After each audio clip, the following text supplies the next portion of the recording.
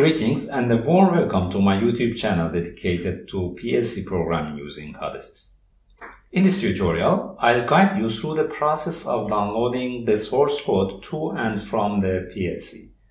This allows you to maintain a backup of the source code directly in the PLC, ensuring easy access and modification whenever required, and eliminating concerns about the loss of data on your computer system. I hope you find the video enjoyable and beneficial. Don't forget to give it a thumbs up, leave a comment, share it with your network, and let me know if you have any concerns or questions. Thank you for tuning in and let's dive into the content. Typically, following the creation of the PLC code and the completion of visualization, when you log into the PLC and initiate the download process, the CODESYS development system generates the application code and transfers it to the PLC. This application code serves as an executable file and retrieving the original project file, including both the PLC code and visualization later, is not possible. Consequently, it's essential to securely store your project for future reference. On the other hand, maintaining an archive of the project currently running on the PLC offers several advantages, facilitating easier maintenance or upgrades, particularly over an extended period. CODESYS enables the loading of project source code to a PLC in the form of a project archive. Subsequently, you can retrieve this project archive back to the development system from the PLC as required. To initiate the process, launch the CODESYS development system and establish an empty project as the initial step. Ensure that the selected PSC matches precisely with the one from which you intend to upload the project archive. After opening the project, verify your access to the PSC. In my scenario, I'm utilizing the CODESYS Control Win x64 version 3.5.19.20 on my PC, aligning the project with the exact PLC configuration. My first action involves confirming PLC accessibility through a network scan, identifying it on the network.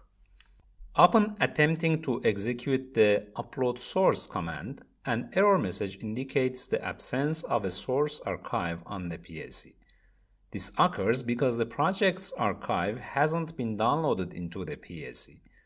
Therefore, the next step involves downloading the project archive, ensuring a duplicate remains in the PLC's memory. First, I craft a simple code and add a basic visualization to the project for later verification of complete retrievability. Subsequently, I log in, run it on the PLC to ensure functionality. As the subsequent step, I log off and select Source Download from the File menu.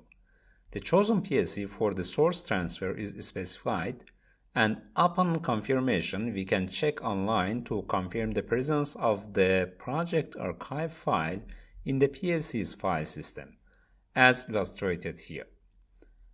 The provided details include information about the archive file's size, modification date, and time. To assess the functionality of the source upload option, it's necessary to close the current project and create a new empty one. Once again, the identical controller must be selected and the choice of programming language is unimportant. Clicking Login initiates the connection to the PLC. Navigate to the device window, communication settings, and press Enter to configure the active path. In my case, providing the username and password is also required. When the active path configuration is complete, the small gray circle transforms into green, indicating successful access to the PLC. Next, in the File menu, opt for Source Upload, select the PLC and click OK. The Extract Project Archive window prompts you to specify a folder on your computer where the project archive will be extracted. Click Extract and select to open the extracted project to examine its contents. A decision is then required regarding whether to save the current project. In this instance, I choose no as there are no modifications in the current project. As evident, the project mirrors precisely the one downloaded into the PLC. This process allows for the backup of the project archive in the PLC, providing convenient access whenever necessary. That concludes this tutorial. I trust you found the video enjoyable and informative. Remember to subscribe to the channel, give the video a thumbs up, drop a comment, and share it within your network. Appreciate your time and I'll catch you in the next one. Until then, take care and goodbye for now.